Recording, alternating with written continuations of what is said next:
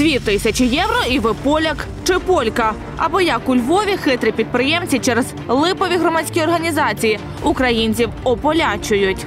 А я можу завтра прийти до вас в організацію, подивитися, як у вас все відбувається. Ні, не можна, бо то є секретна організація. Для організації так просто не здаємо, що думаєте, що такого просто прийшов і такого вчився. Бандера не герой, а Шухевич злодій. Або що змушують визнати українців, аби отримати омріяну карту поляка. Для нас неприпустимо, щоб хтось мав карту поляка і вважав Бандеру та Шухевича героями. Це взаємовиключні речі. Консул не може пропустити такого браку. У теорії правди про напівлегальний бізнес спритних львівських посередників, які і карту поляка без відповідних документів зроблять, і заміж видадуть. А як спраглі до молитви, то і в Єрусалим на прощу звозять. Будь-який каприз за ваші гроші. П'ятниця, 19.45, Вмикай НТА.